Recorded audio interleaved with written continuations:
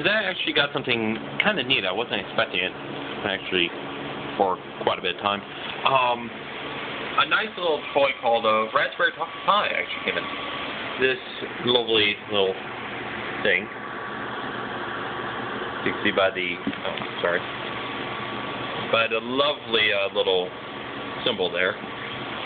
The Raspberry Pi is a, a mini computer in a sense. Um, so I started playing around. They got um, Quake 3 to run with a with someone who made a nice little script for it. Um, what? Okay, time's not right on that. Um, I'll have to reset that. But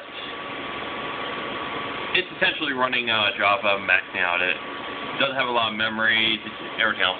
So what I do, I said, hmm, let me try and run Minecraft.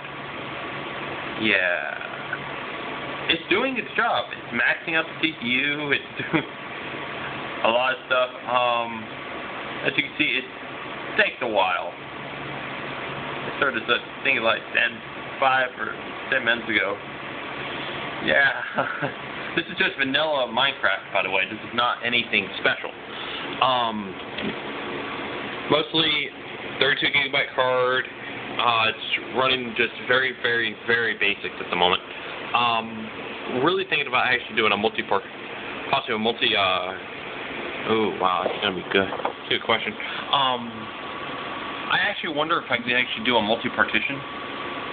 Um, so I can actually, uh, or not multi-partition, multi-OS. So I can boot from um, Debian and possibly try others out. But I was thinking I'll just uh, swap out the SD cards. Um, to that though, um, it's actually not bad. Um, should be fun. Also, uh, from earlier results in our deal, it's, it's, it's things. Um, I'm a Red Hat person, so this is a whole new thing for me. Um, trying to work with Debian, or whatever it's called.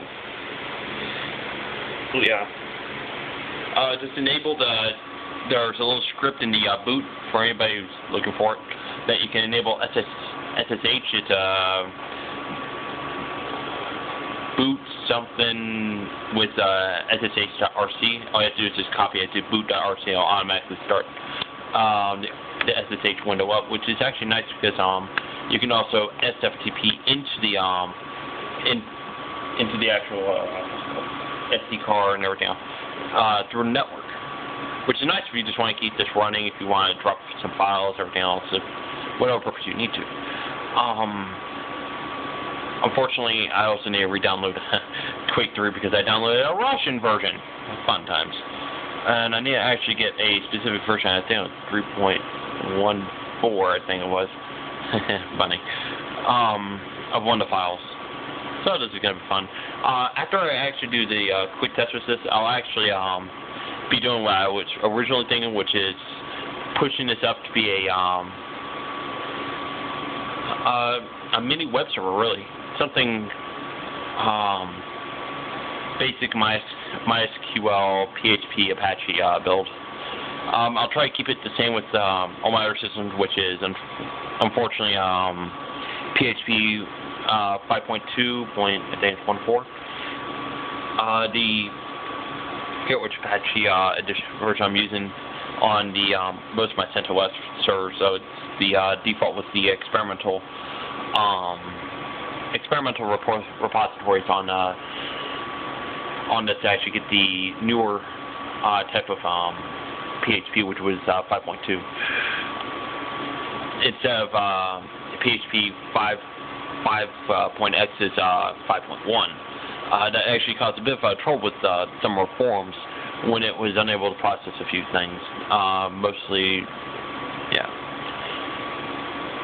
With that though, the it's unfortunate. I could possibly uh, re-register this if I'm just gonna go pure uh, pure server mode and actually take it because it's currently, um, as you saw before, taking 32 gigabytes out of the uh, total of 256 for the uh, GPU itself, which I could probably drop that down to uh, probably about 8, or not 8, uh, yeah, actually eight, so I get 224 megabytes of memory to control process. Though I'm not entirely going to be doing this on a production scale, so it'll probably be more along the lines of me and a few, uh, what's it called, CYG uh, win windows, just uh, W getting or uh, post or pushing post uh, post uh, form to actually do uh, a little bit of uh, testing. Uh, it's it should be actually pretty nice. Um, that's it for now, I guess. So see you for now.